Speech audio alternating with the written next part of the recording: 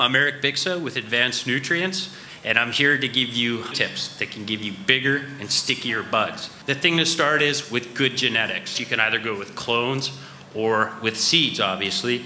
So some of the advantages, again, of clones is basically consistency. You have known stock, whereas seeds, you're sort of rolling the genetic dice a little bit, but you're also not inheriting any problems. Sometimes when we get clones, especially clone-only strains that have been passed around for decades, there can be problems laying beneath the surface of that plant leaf that you might not even see. For example, powdery mildew can originate from inside the plant. Whereas with seeds, you're starting insect-free, typically disease-free. Viruses aren't passed on to the seeds. So each has their advantages, but uh, if you're willing to take a little bit of time and patience in the selection process, I would recommend going with seeds. And so number two, in getting bigger yields and stickier buds, is keeping the right environment for the uh, genetics you've selected. Uh, so, so take the time to do the research.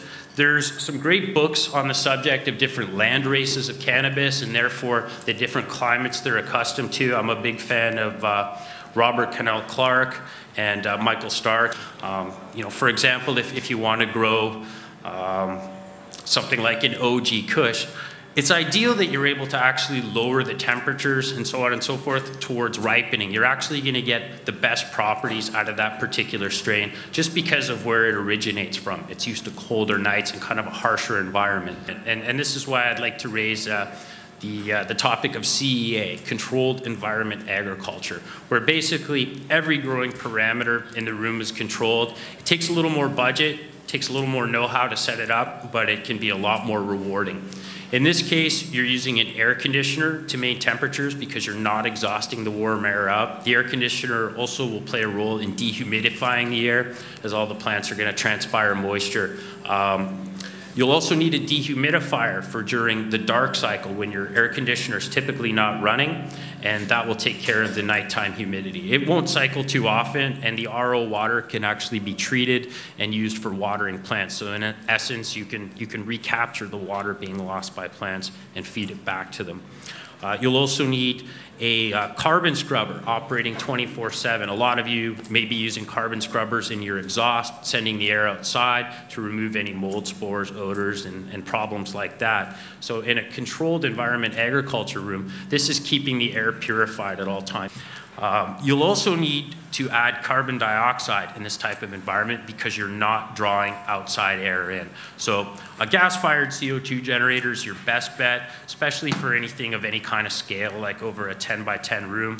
Uh, for example, there's the uh, Cool Flame CO2 maximizer, and I believe there's a hydrogen, that's another one. And they can significantly reduce the amount of heat you're introducing to the grow room.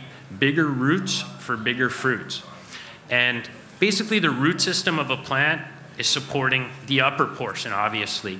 Roots uh, also produce naturally occurring growth hormones that the green parts and flowering parts of the plant are going to use, uh, namely cytokinins. So the bigger a root system you can develop, the plant will also have a higher hormonal content of cytokinins that can be sent into the upper portion, which in return, the green parts of the plant produce auxins that go back down to the roots and uh, encourage further root growth. So it's a push-pull relationship. One of the easiest ways and most effective ways to do this, as well as to improve the plant's natural resistance to diseases, root diseases, and other problems, is to inoculate it with beneficial bacteria and fungi. Uh, things like trichoderma, mycorrhizae, bacillus. And there's even some super strains of bacteria too that are developed in, in overseas labs specifically for cannabis horticulture. Uh, some of these products include tarantula, voodoo juice, piranha from Advanced Nutrients. I've seen uh, through our research facilities the the pronounced effects these can have, uh, often within days, e even within 24, 48 hours of application, you can see a significantly bigger root system. And some of these bacteria and fungi help to fight off root disease and other pathogens that can harm your crop, but they also produce naturally occurring growth hormones, for example, like cytokinins, which I mentioned earlier.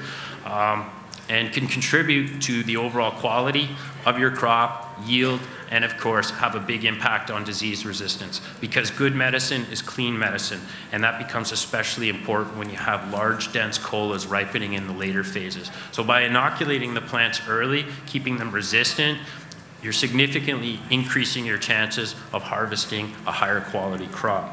Number four, lighting for crops. Now, there's a lot of information out there on, on lighting for indoor cannabis crops. There's uh, quite a few different technologies that can be used to do it.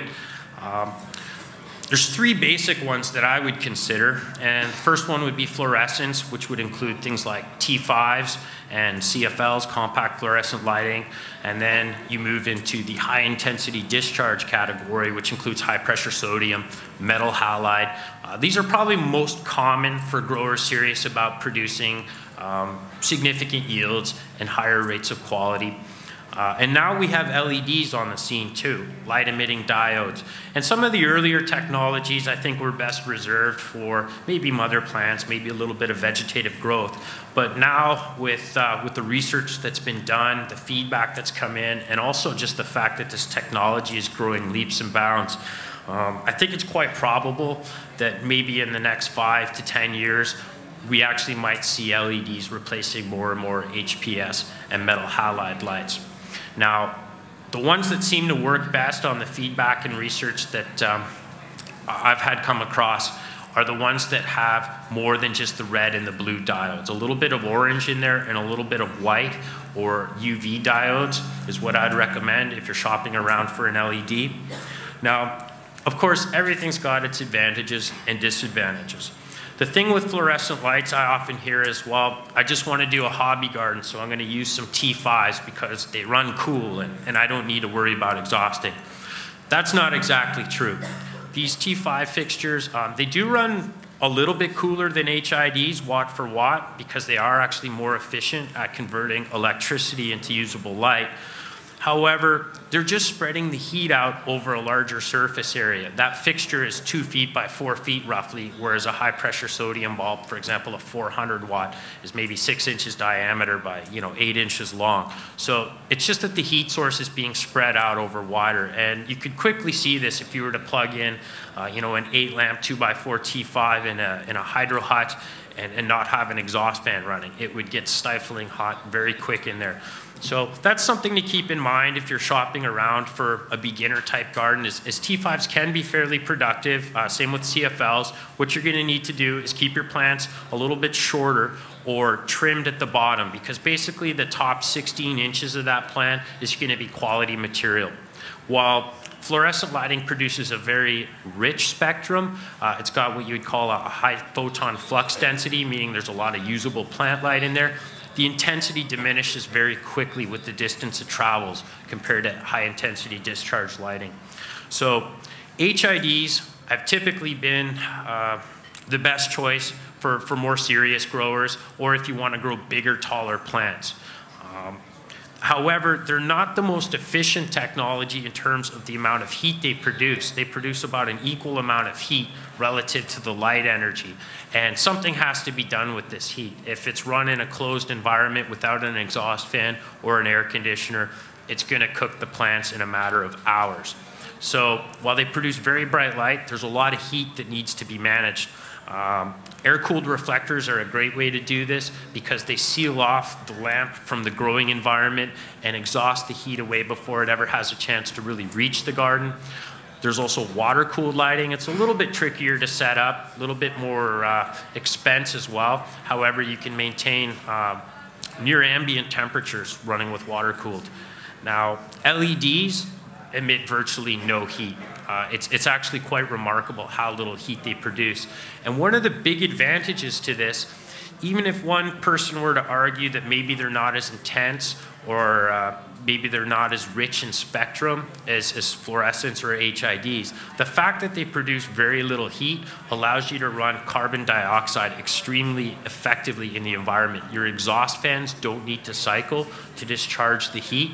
So you can use CO2 very efficiently out of a tank or even using fermentation. Uh, in a sealed environment with LEDs, I've been able to measure um, up to 2,800 parts per million of carbon dioxide being produced by the primary fermentation of beer. So if you like beer or wine, it's a good way to boost up your CO2, get some LEDs, get some bigger yields.